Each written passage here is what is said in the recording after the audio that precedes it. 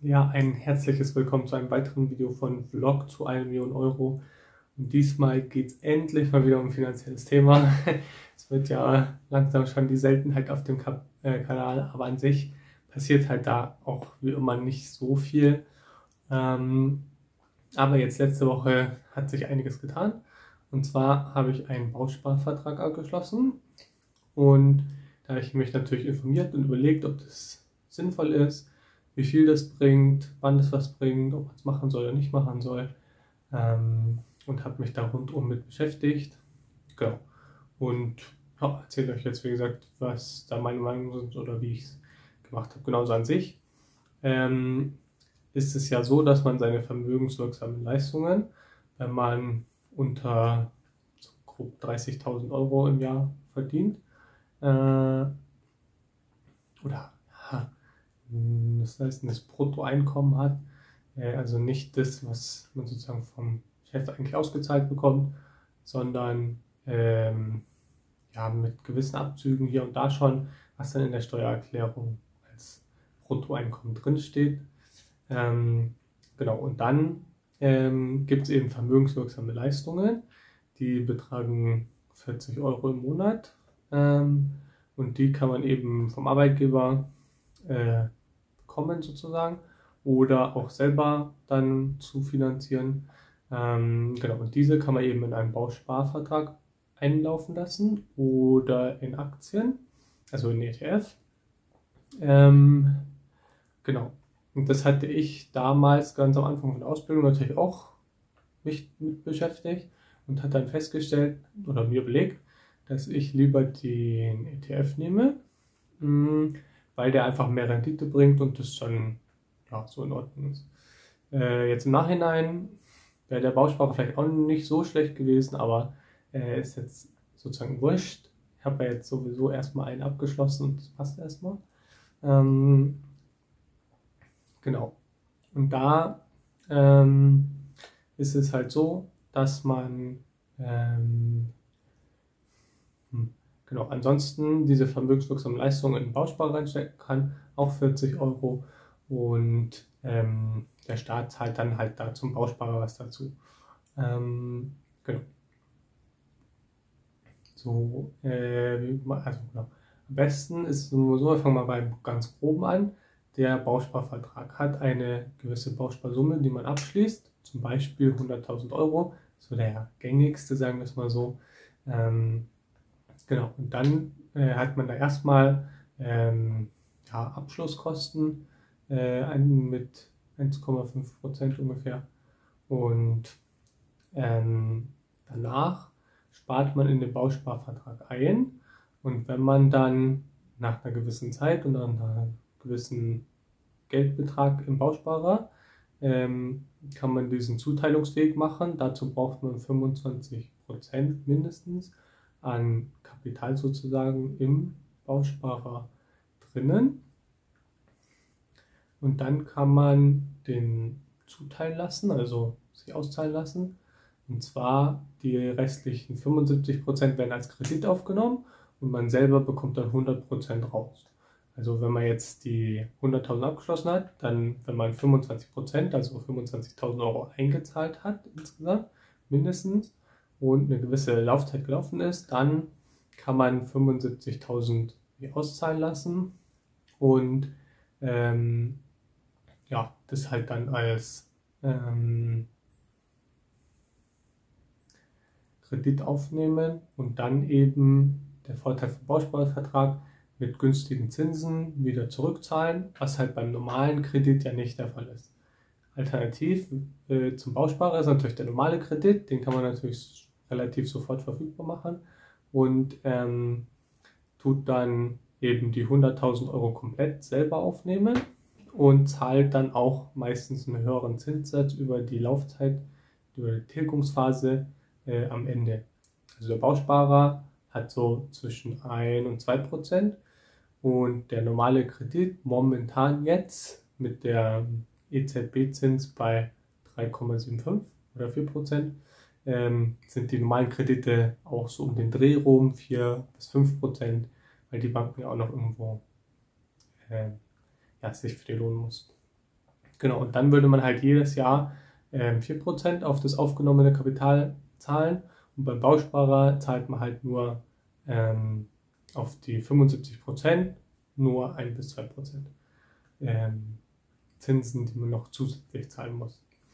Genau, und deswegen äh, tun wir eben einen Bausparer abschließen und machen, ähm, um eben dann, wenn man Kredit aufnimmt, weniger Kredit aufnehmen zu müssen, weil man schon was eingezahlt hat und äh, von niedrigen Zinsen profitiert.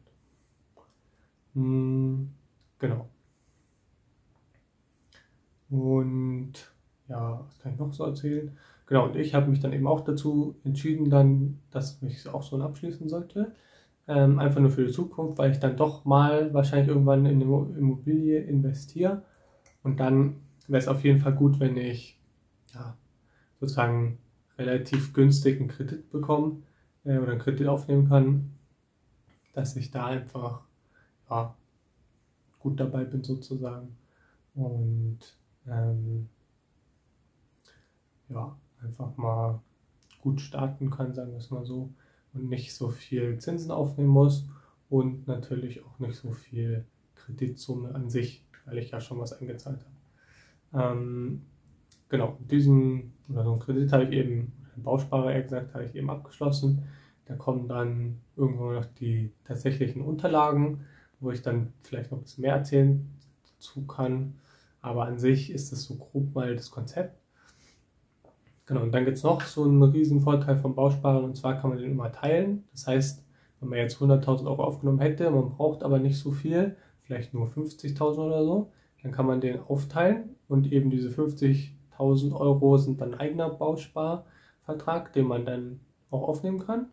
Und die anderen 50.000 Euro laufen einfach weiter als ganz normaler Bausparvertrag, ähm, wo man ganz normal weiter einzahlt und dann halt den irgendwann später mal aufnimmt. Genau. Und ähm, ja, solche Aktionen kann man natürlich nutzen. Und ähm, an sich muss der Bausparer immer für Immobilien so im großen Zweck genutzt werden. Also man kann nicht einfach sagen, ach, ich nehme 100.000 Euro Bausparer auf und äh, tue dann mal schnell 25.000 Euro einzahlen und nehme dann 75 als Kredit auf und tue das dann in Aktien investieren, die 100.000 oder sonstige Sachen, sondern man muss dann eben auch eine Immobilie nachweisen, also halt sagen, okay, hier, äh, das ist fürs Grundstück oder das ich dann hier gekauft habe, wo dann der Name draufsteht oder es ist für das Haus, was ich bauen lasse, das ist halt so ein Hausbauvertrag beim Bauunternehmen. Und den kannst du halt dann vorlegen, dass sie das belegen können, sozusagen, dass das für Immobilien oder wohnwirtschaftliche Zwecke erst immer genutzt wird und nicht das Geld für irgendwas anderes ist, weil du natürlich dann auch den Bausparer ins Grundbuch eintragen musst und natürlich dann dadurch das abgesichert ist, der Kredit. Weil ansonsten hätte ja, die, der aufgenommene Kredit gar keine Absicherung sozusagen, sondern die leihen dir einfach so das Geld und dann kannst du damit nichts machen. Also haben die keine Rückversicherung, dass die das Geld wieder bekommen, sondern können sie einfach damit gehen. Und durch die Eintragung im Grundbuch und das Nutzen für Immobilienzwecke äh, haben sie eben den Gegenwert, weil halt die Immobilie ja nicht wertlos ist sozusagen. Ähm, genau, das nutzen eben die ja, Bausparkassen oder Banken halt, um da äh, sich abzusichern, was ja ganz normal ist. Ich meine, wenn man einen Kredit normal aufnimmt, dann ist er auch in meinem ähm, Grundbuch eingetragen und dann ja, macht es eigentlich gar keinen so großen Unterschied, weil es eigentlich ganz das Übliche. Hm. Genau, ansonsten tue ich jetzt halt meine sonstiges Geld, was ich immer investieren würde, ähm, sind momentan so 500 Euro im Monat. Die laufen jetzt im Bausparvertrag erstmal rein, um den eben erstmal am Anfang ein bisschen anzuhäufen, dass da was rauskommt und dann nachher, ähm, also ja, und dann nachher, also so in einem Jahr oder so, tue ich dann die Sparrate reduzieren auf ähm, etwa 70 Euro im Monat, weil der Staat fördert Bausparverträge an sich mit äh, eben bis zu eingezahlten 700 Euro, tut da 10% fördern. Das heißt, wenn du 700 Euro im Jahr einzahlst, kriegt der, gibt der Staat noch 70 Euro obendrauf. Also ja, so ein kleiner Bonus, sagen wir es mal so. An sich interessant ist es ja nicht wirklich, aber es sind ja weniger als ein Prozent pro Monat, hm, was man da plus macht. Aber es ist auf jeden Fall nicht nichts. Und deswegen eigentlich ganz in Ordnung. Hm, genau, und deswegen tut man dann eben, nachdem man diese Abschlussgebühren gezahlt hat, den Bauspar, ähm, ja, die Einlage reduzieren, dass man eben ähm, ja halt möglichst mh, hm, diese ja, nur 700 Euro im Jahr einzahlt um eben möglichst viel Geld selber in Aktien oder sonstige ETFs anzulegen, um da eben mehr Prozent Gewinn zu machen. Und dann später, wenn man den Bausparvertrag äh, einlösen mag sozusagen, dann tut man einfach noch eine Sondereinzahlung, tut man einfach schnell äh, die Aktien sozusagen, die man hat, äh, halt umschichten, also liquidieren und dann halt das Geld Sonder einzahlen auf den Bausparvertrag, dass er halt ganz schnell die 25% voll hat die man braucht für die Zuteilung.